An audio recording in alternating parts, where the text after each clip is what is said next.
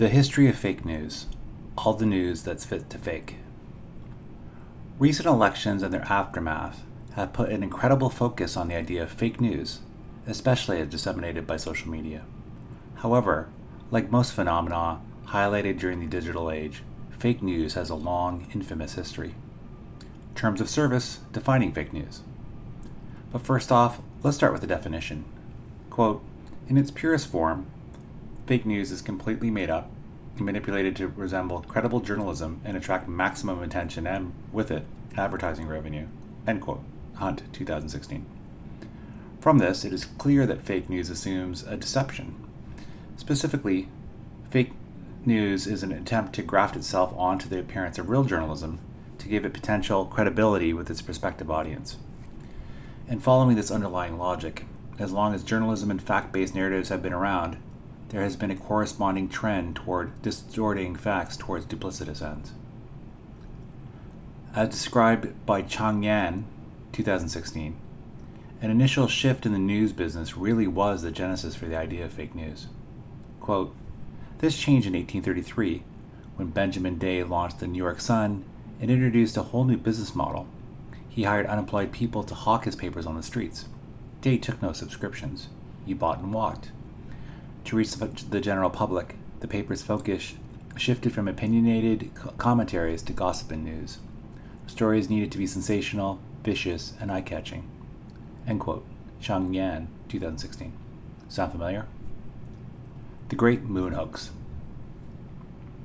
In his 1942 article, Facetious News Writing, 1833 to 1889, Frank Luther Mott documented the tendency of the penny press to liven up its pages by adulterating the news with pranks and fancy, all designed to, to sucker gullible readers. Newspapers indulged themselves with massive hoaxes, such as a six part series in the New York Sun of 1835 about the discovery of life on the moon. In 1844, the Sun published a hoax about a transatlantic balloon uh, voyage. Schaeffer, 2016. From above, our long and fabled fake news history has evolved, maybe more accurately, devolved into contemporary fakes. For example, Schaefer 2016 details the following examples. Parts of Truman Capote's true crime book In Cold Blood, 1966, are apparently false. Nick Cohn made up the primary figure in a New York Magazine article that eventually became the basis for the, mo- the movie Saturday Night Fever, 1976. A writer for the New York Times Magazine made up a trip to Cambodia where he claimed to have spotted Pol Pot, in 1981. The esteemed author David Foster Wallace made up details for a Rolling Stone coverage of the John McCain um, for President campaign, 2000. Rodney Rothman spiced up a fake story for The New Yorker titled My Fake Job with Imaginary Details, 2000. From this, fake news has been with us for a long time, and it also looks as though it will continue to be with us for an even longer period. Hopefully, we can persevere and eventually find a solution. Unfortunately, authors like Lazer and colleagues 2018 do not think we are well equipped to deal with viral fake news versus a solution of fact checking, which counterintuitively appears to exacerbate the underlying problem.